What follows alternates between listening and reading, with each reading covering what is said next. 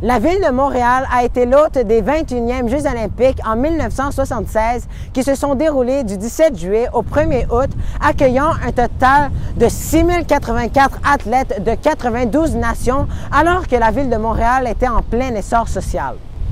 Nous sommes devant l'endroit le plus iconique de cet événement, le Stade olympique, conçu par Roger Taillibert.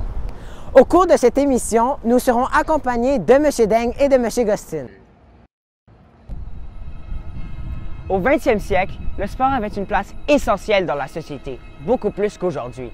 Les Jeux olympiques et les Olympiens étaient donc admirés et les événements qui se déroulaient durant les Jeux restaient dans la culture populaire dans les années qui suivaient.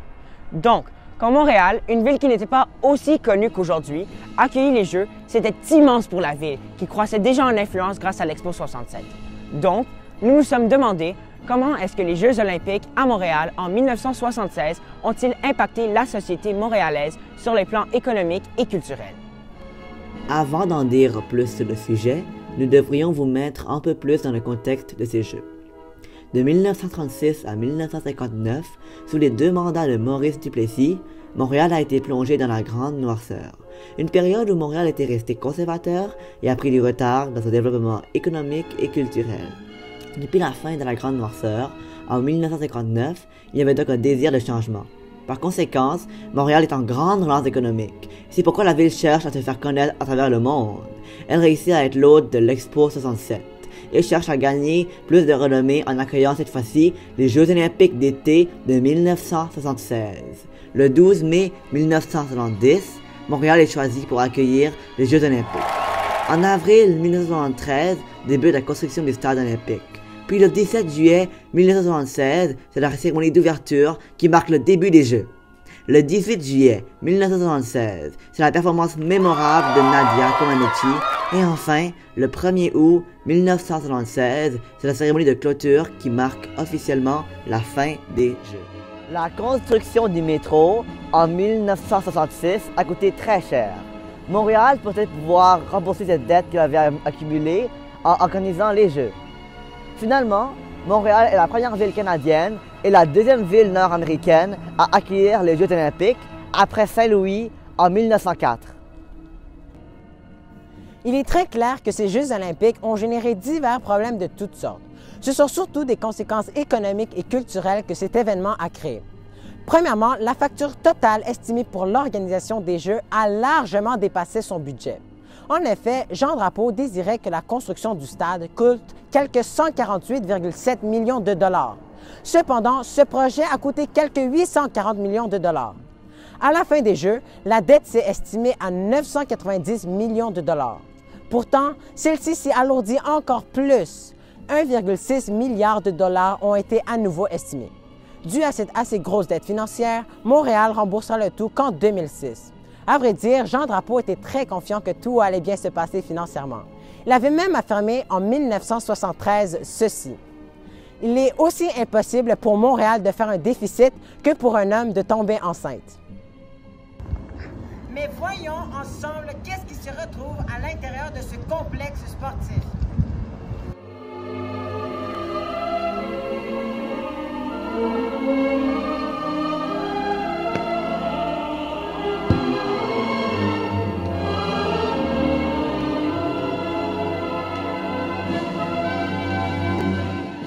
C'est donc le coût de fonctionnement, de construction et de rénovation que la ville haute a dû payer. Aussi, il ne faut pas oublier que Montréal s'est engagé à dépenser plus dans la sécurité de tous, à la suite des attentats des Jeux olympiques de Munich en 1972. En conséquence, Montréal a dû dépenser un autre 100 millions de dollars pour engager 16 000 policiers et soldats.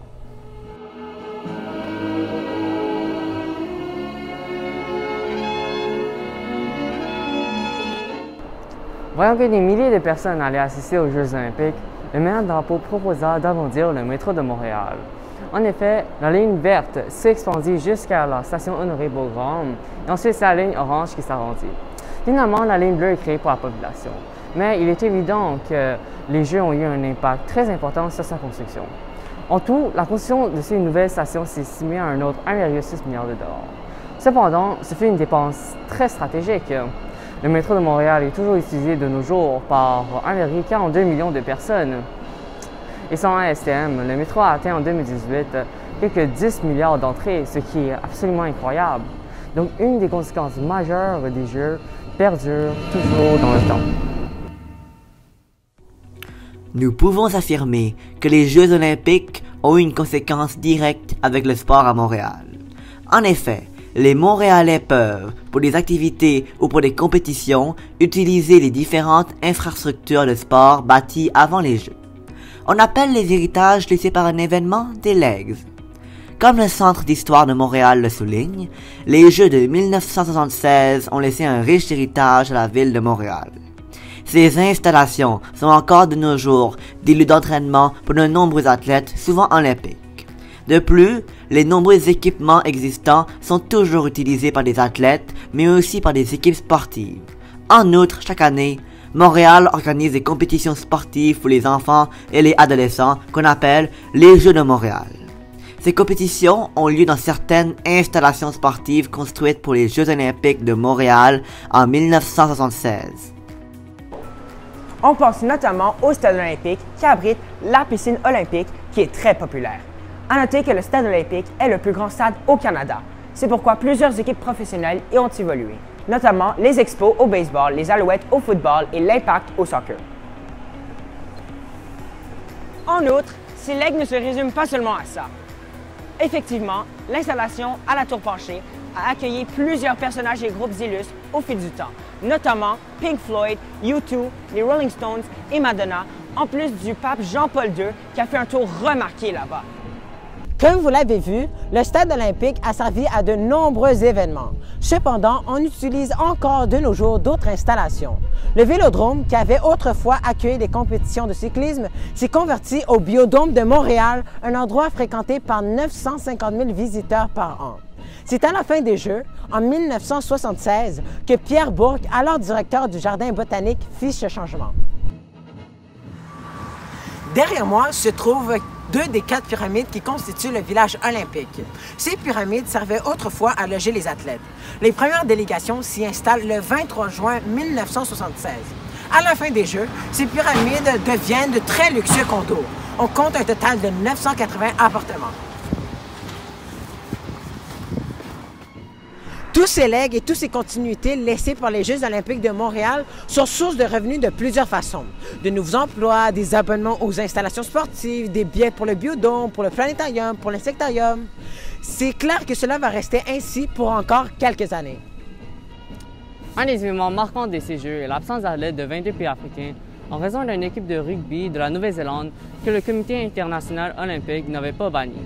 En effet, en 1971, cinq ans avant les Jeux olympiques de Montréal, l'ONU avait demandé aux équipes sportives de ne pas participer à des activités sportives dans tous les pays appliquant officiellement une politique d'apartheid, un système basé sur la discrimination raciale. Cependant, l'équipe néo-zélandaise n'avait pas accepté cet engagement et euh, ont fait une tournée en Afrique du Sud. Malgré cette erreur impardonnable, le comité a permis la Nouvelle-Zélande de concourir aux Jeux olympiques de Montréal.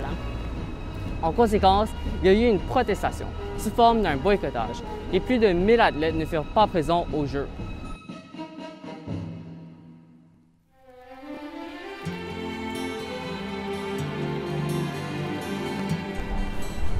Malgré ce point négatif des Jeux olympiques de Montréal, la sélection de cette ville comme hôte a permis au reste du monde d'être introduit à la culture montréalaise et québécoise et à renforcer les liens entre le Québec et les autres nations. La francophonie unique du Québec a été une grande source d'intérêt pour les 3 millions de spectateurs venus. De plus, les Montréalais ont pu partager leurs coutumes uniques et leur histoire particulière avec les touristes. Les Jeux olympiques ont aussi donné plus d'importance à Montréal et au Canada dans la culture populaire, permettant à plusieurs compagnies et personnages montréalais de sortir de l'obscurité, notamment le Sage du Soleil et les auteurs-compositeurs André Mathieu et Stéphane Venn, qui ont essayé de faire connaître la musique québécoise aux touristes. La chanson Je t'aime, écrite par Jean Robitaille, qui a été interprétée à l'ouverture des Jeux, a permis au reste du monde de découvrir et d'entendre la musique du Québec.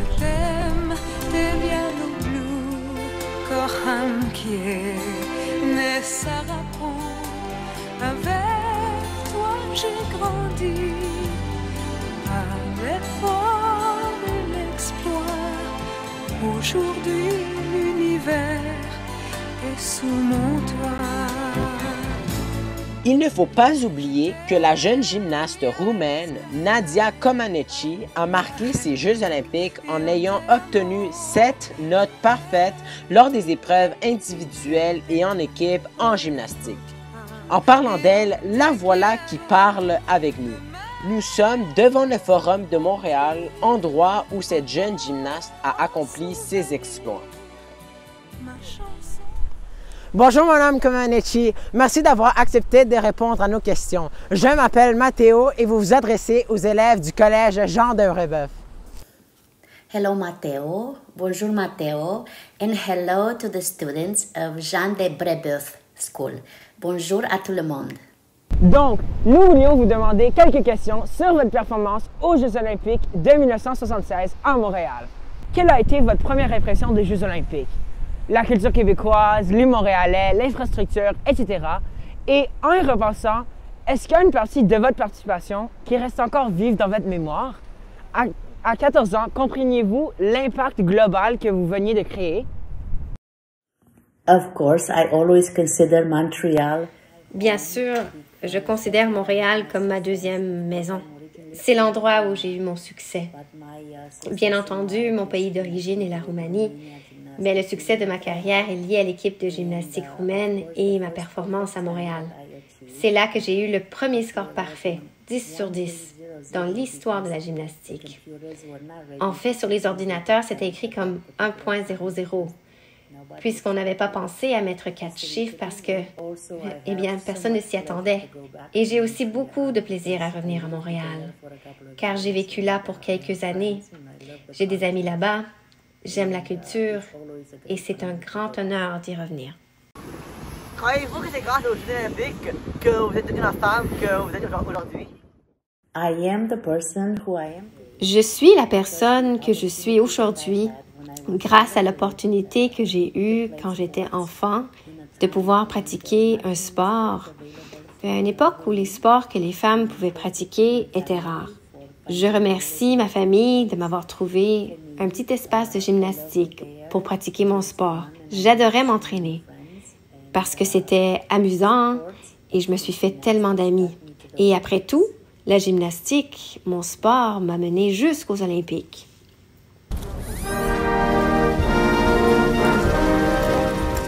En conclusion, les Jeux olympiques de Montréal de 1976 a permis à ces villes de surtout s'enrichir culturellement. Malgré les pertes financières importantes, le secteur touristique a engendré quelques 77 millions de dollars.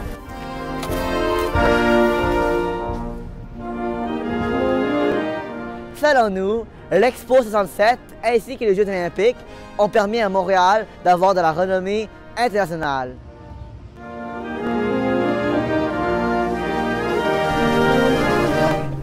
De plus, les Jeux ont eu de nombreux bienfaits tels que la construction des infrastructures de sport et l'expansion du métro. Le métro, voilà un bon exemple de continuité selon nous. Nous l'utilisons très régulièrement pour nous rendre à l'école.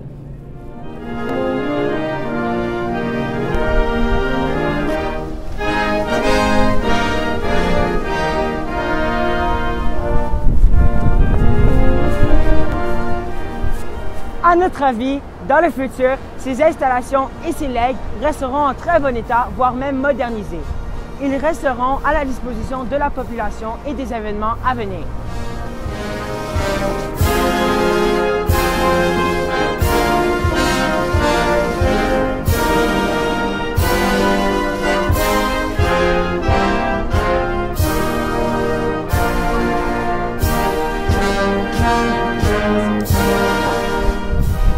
Qui sait, Montréal deviendra-t-elle peut-être encore l'hôte des Jeux olympiques?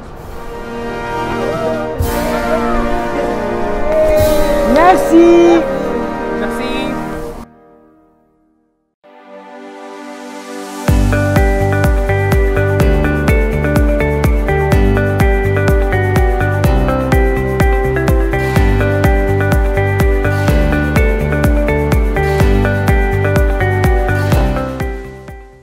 Like to wish all of you uh, a lot of success. Find the passion and uh, embrace challenges. and remember that sport is really, really fun and uh, you find so many opportunities in life. Euh, je vous souhaite une euh, bonne année, beaucoup de succès. À bientôt.